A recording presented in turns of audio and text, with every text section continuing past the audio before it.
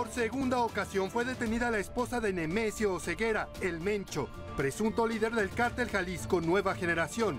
Elementos del ejército y ministeriales federales interceptaron en el norte de Zapopan a Rosalinda N. en cumplimiento a una orden de aprehensión. Es señalada como operadora financiera de la organización que encabeza a su marido. Fue en el estacionamiento de una juguetería ubicada sobre la avenida Patria, casi en su cruce con la avenida Guadalupe, donde Rosalinda N fue detenida. Cerraron la calle porque estaba, en un desbarajuste en la calle y los soldados estaban allá, de aquel lado, los demás, pues eran como del ejército, pues, pero investigadores, pues, de civiles así, pero bien armados.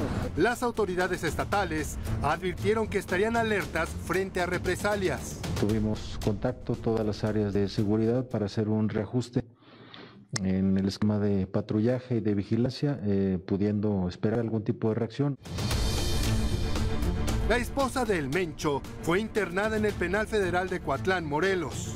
En su primera detención el 26 de mayo del 2018, Rosa Linda fue sorprendida por marinos, también en Zapopan, cuando salía de un centro comercial.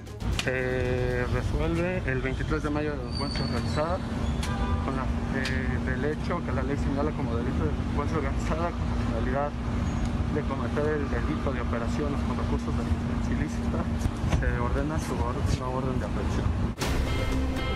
En aquella ocasión le implicaron en una investigación de 73 empresas sancionadas por el gobierno estadounidense por actividades de narcotráfico.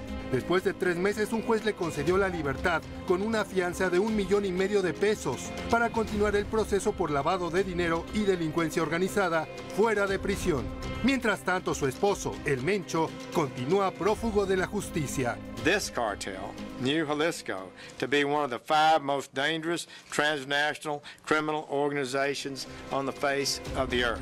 En México se ofrece una recompensa de 30 millones de pesos y en la Unión Americana 10 millones de dólares. Con información de Fernanda Mejía y Agustín Rodríguez, Fuerza Informativa Azteca.